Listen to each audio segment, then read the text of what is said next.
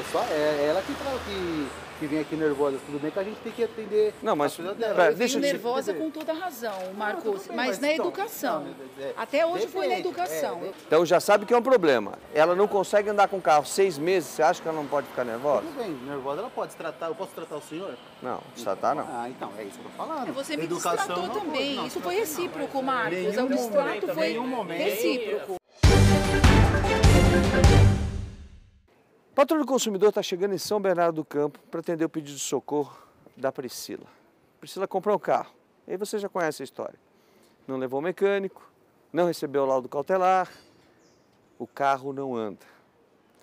Ou melhor, o carro fica mais na oficina do que na mão dela. Em seis meses eu posso dizer que a Priscila andou com o carro alguns dias. Alguns dias, porque o câmbio do carro só dá problema. Tudo bem, Priscila? Bem, doutor, Como vai? como vai? Tudo em ordem? Tudo bem. Dá os documentos aqui, por favor. Olha, a Priscila fez a compra de um Peugeot. E aí eu começo dizendo para vocês que estão nos assistindo. Peugeot é bom enquanto é novo. Dois, três anos para frente vai te dar problema. E o problema maior é que quando você encosta na oficina, não sai mais. Ela mora, na verdade, perto do serviço, correto?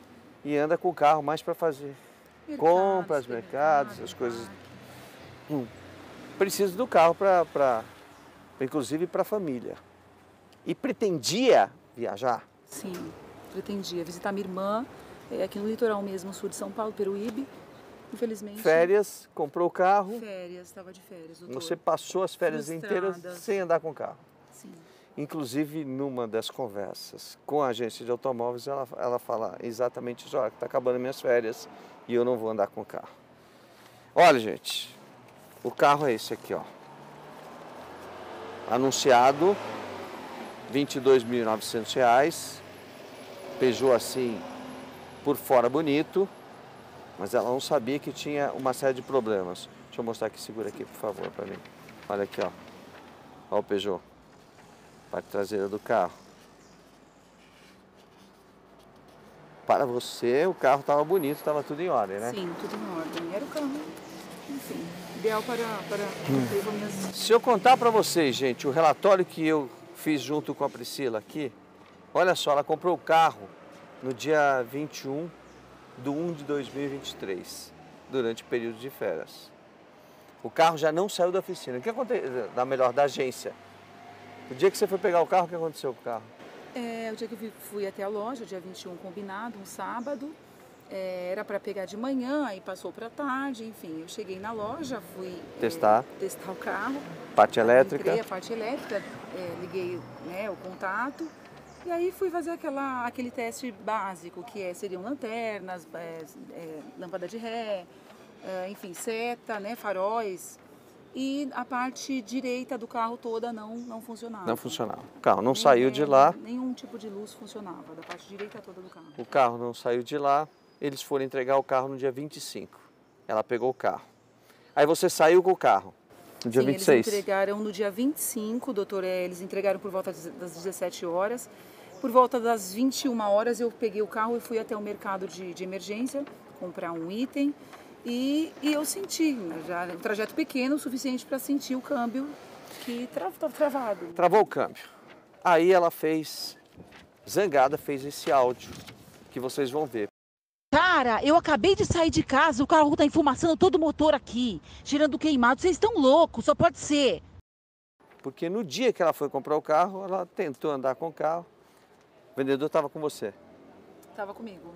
Aí o carro deu problema no câmbio e ele falou que você não sabia dirigir. Falou, falou que não sabia dirigir. Dei uma volta no quarteirão, o câmbio aconteceu exatamente o que aconteceu comigo no poste. Ou seja, né? travou na segunda, Travou. não passava a terceira não, automaticamente. Não, não é assim, exatamente. Não, não, não é assim. É que se dirige. Eu já tinha dirigido outros carros automáticos. Eu... Quanto tempo Mas você tem como habilitação? assim? Ah, eu tenho habilitação tem mais de 20 anos, doutor. Ela não sabia dirigir. Bom, de toda forma, como era um carro automático, ela né, deixou o carro para conserto. No dia que ela pegou o carro, travou o câmbio. Aí, olha o áudio que ela mandou para a agência de automóveis. Oi, boa noite, Wagner. Desculpa o horário. Eu abasteci o carro aqui, enchi o tanque do carro. Tô dando uma volta aqui por São Caetano. É, o câmbio do carro simplesmente é, travou aqui, só tá. Não tá mudando de marcha, tá como se estivesse numa segunda o carro. Tô sofrendo aqui, viu, Wagner? Que sacanagem, hein? E o vendedor responde: Priscila, como assim, é boa noite? Como assim travou na segunda marcha e não sai? Não entendi isso. Se dizendo não está entendendo o que está acontecendo. Mas o carro já não tinha dado problema no dia que você foi testar o carro? O mesmo problema? O mesmo problema. E ele dá uma de desentendido, não é verdade? Sim, Bom, totalmente. legaram, levaram o carro. 25 dias depois, devolveram o carro. Isso já era 20 é, do 2 de 2023. Aí você, se eu não quero mais esse carro, não dá, o carro não tá bom, né? Eu quero desfazer o negócio. Vamos ouvir o áudio. Eu preciso trocar esse carro por outro, senão desfazer o negócio. O motor do carro estava silenciado, né? Tava silenciado, silenciado, completamente sem barulho. Né? Agora o motor do carro está fazendo maior barulho. Né? O cheiro de queimado terrível no carro, isso não é normal, mesmo para carro usado, carro velho, não é normal. Né? Um cheiro de fio queimado muito forte, muito forte. É, cheiro de combustível muito forte dentro do carro. É, o, o escapamento do carro tá ralando, tá baixo demais, tá solto aqui atrás. O, fe- o- o- freio do carro tá no ferro, tá no ferro, o piso não, tá no ferro, faz um barulho de ferro terrível, deve estar no disco. Né? Acho que de tanto que rodaram com o carro, porque o carro foi com 100 mil quilômetros para arrumar e voltou com 900 mil. Eles não quiseram, né? Não, Não quiseram. de jeito nenhum. Disseram que ia arrumar o carro. para eles, por favor, é, olha, eu quero desfazer o negócio ou no, no mínimo eu quero que vocês troquem o veículo. Inclusive o vendedor, não, pode vir na loja aqui, nós vamos ver o que nós vamos fazer. Olha, olha o áudio. Agora, enquanto a isso, devolução é seria com o gerente da loja, tá? Você teria que conversar com ele. Depois dessa fala, ele se calou com relação à troca do carro. Se calou, sempre passando para o gerente, olha, se não é comigo, é com o pós-venda, é com o gerente, eu não tenho responsabilidade, não é comigo. Sempre tirando o corpo fora, Celso, e ele era o vendedor, né? Bom, entregaram o carro, ela pegou o carro no dia 21 de 2 de 2023, o carro deu problema de câmbio de novo. O carro simplesmente começou a esfumaçar todo o motor, né? Saindo fumaça, ela parou o carro, fez até um vídeo, né, mostrando que, falando inclusive que o, que o carro estava com óleo todo espalhado embaixo. E o Tem, problema de tem, tem vídeo mostrando o óleo que escorreu e tem vídeo dela. Vamos ver os dois. Eu vi do mercado aqui, é coisa de nem sei dois quilômetros, tá pegando fogo aqui, ó. Não, quase não consegui abrir aqui. Tá? Quase não consegui abrir aqui. Não é normal isso. Ó, tá vazando, a gente tá cheio de óleo ali, ó. Ó lá, ó o fumaceiro que tá fazendo. Abri o motor aqui pra ver o que que é, de onde tá saindo essa fumaça. Olha lá o fumaceiro. Ali embaixo tá, tá cheio de óleo. Não sei de onde que é esse óleo. Se é de motor, se é de câmbio, tá lá. Tá gotejando tudinho ali, ó. Aí o carro volta para a agência de automóveis que diz que ia resolver o problema. O funcionário André disse que ia resolver. Sabe quantos dias o carro ficou lá? 37 dias. Voltou para a mão dela no dia 31 do 3, né? Devolveram o veículo para ela. O carro deu problema de novo. Dia 15 do 4 de 2023, ela entregou o carro no dia 22 do 5. Bom, gente, ela tem o direito de devolver o veículo? Isso é o que nós vamos mostrar para vocês nessa matéria. Quando o problema não é sanado no prazo de 30 dias, você tem o direito né, à devolução do produto e você vai escolher qual que é, é, a opção sua. Segura aqui, por favor. Deixa eu mostrar a lei para vocês aqui. Olha só o que diz o artigo 18 do Código de Defesa do Consumidor. Os fornecedores de produtos de consumos duráveis, que é um produto de consumo durável, é um carro, por exemplo, né? Ou não duráveis, respondem solidariamente pelos vícios. Vício é um defeito. Vício de qualidade, né? Ou de quantidade, que os tornem impróprios, né? Ou inadequados ao consumo a que se destinam.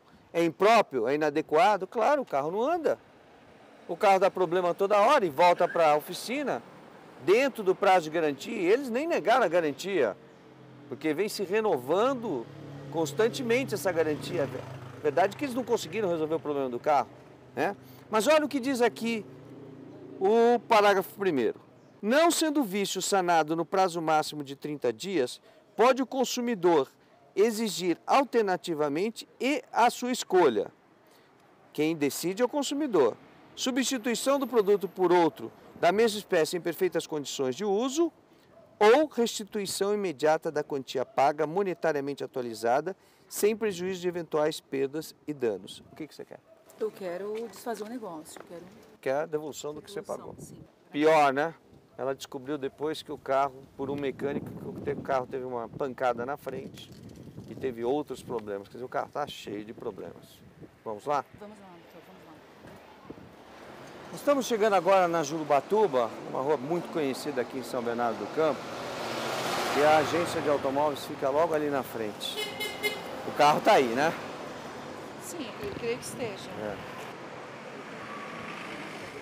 Tudo bem, gente? Boa tarde. Quem é o Marcos? Oi, boa tarde. Tudo bem? Tudo bem, Marcos? Dá pra gente conversar? Ah, tá bom, então vou mandar pra você, tá bom? Ó, só um minutinho só, ô Félix. Eu tô com. Eu já falo com você, tá bom? Nada, tchau. Tudo bem, Marcos? Tudo bem? Como é que vai? Prazer, Tudo ordem? Marcos, você já conhece a Priscila, Já, né? já conheço. A Priscila cansou. E ela tem razão, né? É, tava conversando já entre ela. Então, ela cansou, ela tem razão. Vocês feriram o Código de Defesa do Consumidor quando vocês seguraram o carro na mão de vocês num período de 37 dias. Isso aí foi o período do- da, da primeira vez que ela aceitou, né? Segunda vez. Segunda vez. Agora faz 37 dias já tá Não, a Segunda vez. terceira? Na segunda vez, está aqui o relatório. Do dia 22 de 2 de 2023 ao dia 31 de 3 de 2023, o carro ficou na mão de vocês 37 dias. E a lei só permite que vocês fiquem com o carro 30 dias. 30 dias. Só que daí ocorreu o seguinte, Celso.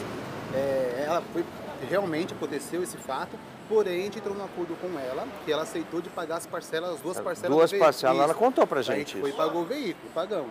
O que acontece? Aí o valor do carro, ele per- permanece, quando a gente mexe naquela alteração que a gente foi feito, ele tem, pela própria garantia do, do mecânico, e nossa, a gente tem mais 90 dias do fato que a Você- gente fez. ninguém está discutindo aqui, apesar do contrato de vocês, ninguém está discutindo a garantia, que vocês até renovaram ela. Exatamente. O problema é que vocês passaram do prazo de entregar o carro.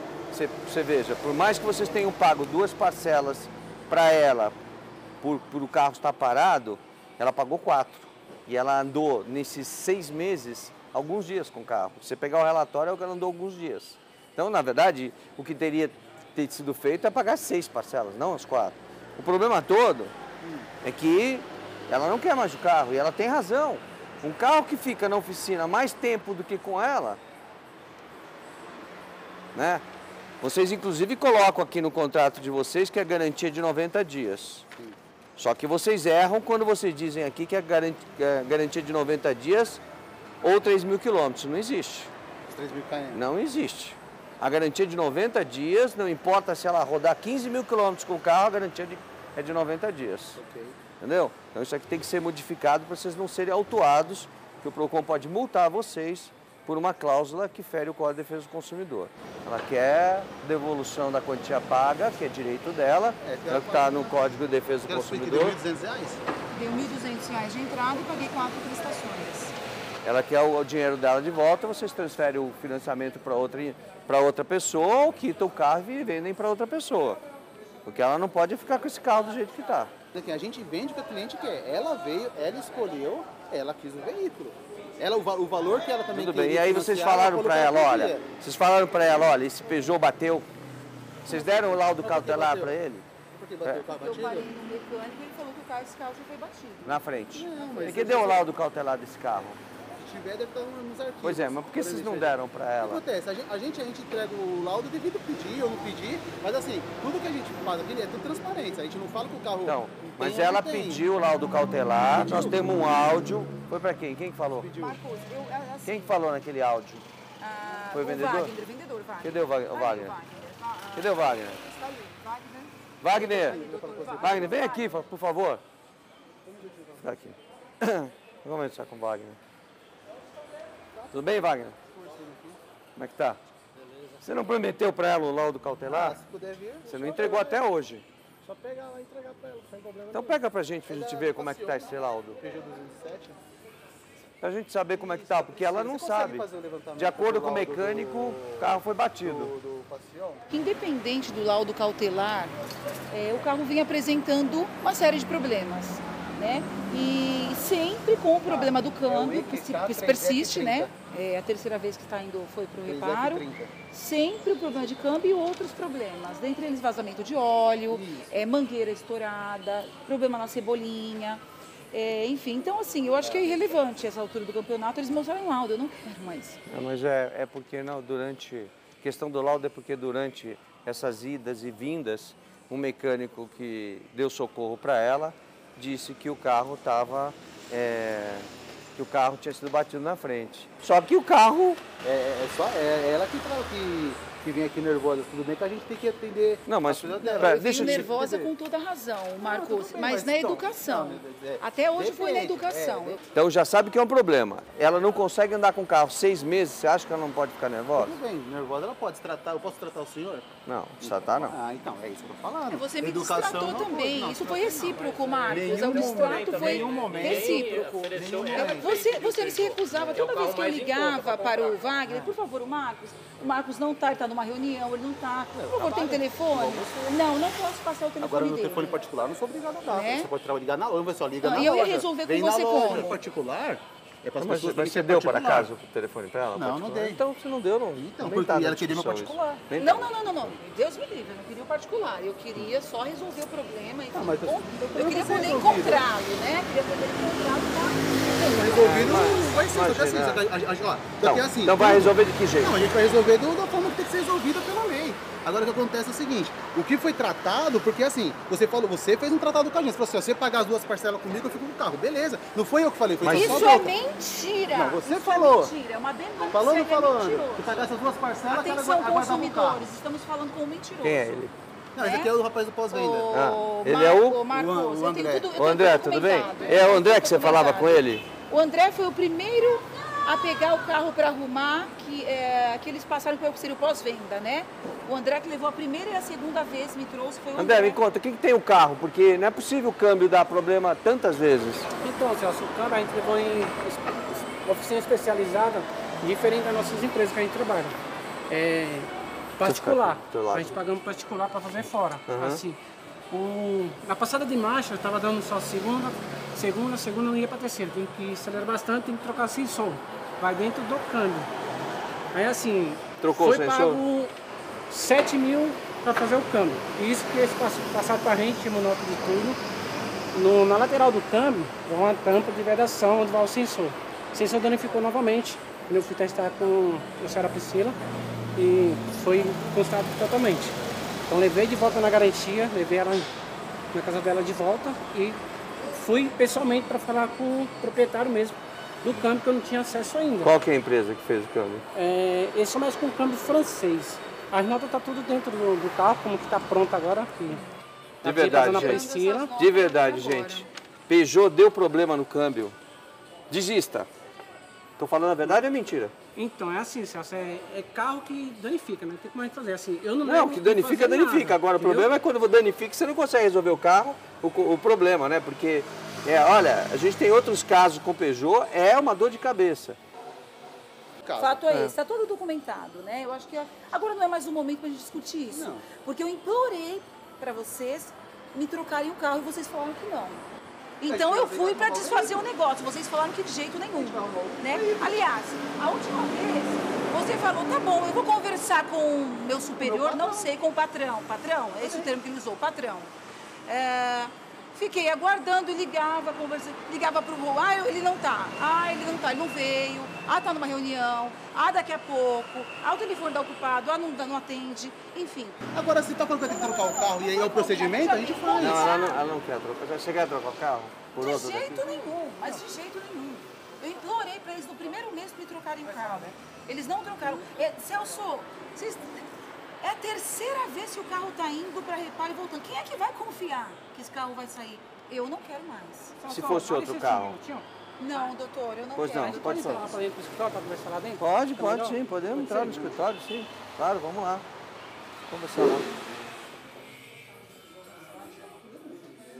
Hum, dá licença. Então, mas aí, vamos voltar à história. O que, que você quer fazer para resolver o problema? Olha, eu falo pra você, eu vou ter que pa- passar isso pro meu superior e o que você tiver que ser feito vai ser feito. A Tá loja bom. que ela não nega nada. Como ela percebeu, a loja nunca negou nada. Só que a gente, assim, tudo pra mim foi combinado, foi tratado. Beleza que eu não tenho prova, como o senhor disse, que eu deveria ser por escrito e até mesmo assinado.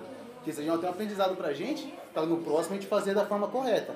O Você quer uma, superior, uma, uma semana para resolver Por isso? favor, passar pro meu superior e até o final da Uma semana, da pode semana ser que vem, assim? Pode ser, semana, Celso, né? deixando claro que eu não quero mais o carro. Não, quero uma semana por favor. para eles fazerem, mim saber como é, fazer. é, para eles darem a resposta para gente. Se eu Tá pegar o carro de volta, o Celso, carro já tá eu com a gente aqui. Lembrando Tá que eu quero confiar em você, por favor, Daí eu Celso. vou, Vamos acompanhar. vou, vou ligar, vou ter que ter meu jurídico, eu vou ver tudo certinho e vou fazer o procedimento Sem- de acordo com a lei do consumidor e do, de vocês. Tá bom. Então bom? a gente, a gente aguarda e em uma semana a gente volta Ok. para mostrar que resolveu. Tá, Tá bom? bom. Tá ok? Obrigado. Obrigado. Tá bom assim para você? Tá bom, Tá? Celso. Tá? Tá bom para Sim. loja? Tá bom. Tudo bom para ambas as partes, pelo menos provisoriamente. Celso Russomano, na Patrulha do Consumidor.